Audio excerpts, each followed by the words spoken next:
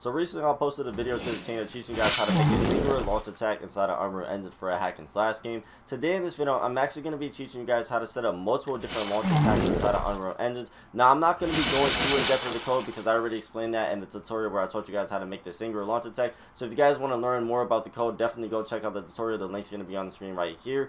And then the next thing we're going to be doing we're actually going to be taking a look at the code and setting this up inside of Unreal Engine. So let's get right to it. Alright so the first thing we're going to be doing we're actually going to be going over to our input action mapping settings, we're going to be going down to input. What you guys are going to be doing are going to be creating a brand new input action mapping. For me, I have two brand new input action mappings. I have one sword attack 2, which is set to game face button left. This means it's set to the square button on the PlayStation controller or whatever, the left button on the Xbox controller. And then the next thing I have this to, I have this set up to thumb button, mouse button. And then for my launch sword attack 3, I have it set up to gamepad face button right, thumb mouse button 2. And then for our original launch attack, I have it set up to game face button top right mouse button you have it set up to whatever you want. Alright, so once we do that, the next thing we're actually going to be doing, we're going to be going over to your event graph. Now, what I'm going to be doing, I'm going to be getting a reference to those brand new launch attacks that I created. I'm going to right click and then to type in launch attack 2, sword attack 2, gets this little node right here, and I'm going to do the same thing for launch attack, sword attack 3, get this node right here. So now when I go ahead and open up that node, you guys are going to see that I have the launch attack code inside of the engine. Like I said, I'm not actually going to be explaining this code in the video because I explained it earlier and how to create a single launch attack. What I'm going to be doing, I'm actually going to go ahead and I'm to sit there and I'm to copy and paste. I'm to copy all this code.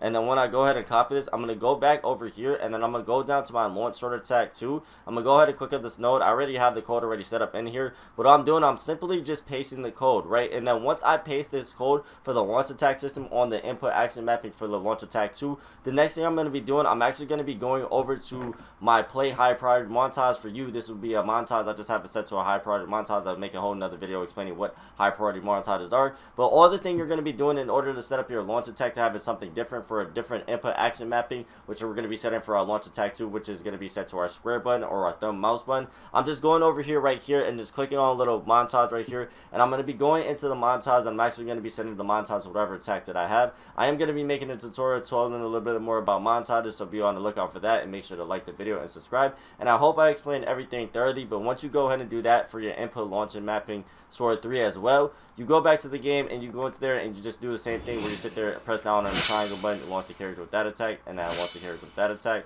and I launch the character with that attack. Like I said, I hope you guys enjoyed the tutorial. If you guys did, make sure you guys smash the like button. Also, comment down below if you guys are running into any trouble or issue. I'll be sure to help you out. And subscribe if Fragoso Entertainment while your notifications are turned on so you don't miss the upload. And I'm going to see you guys on the next one.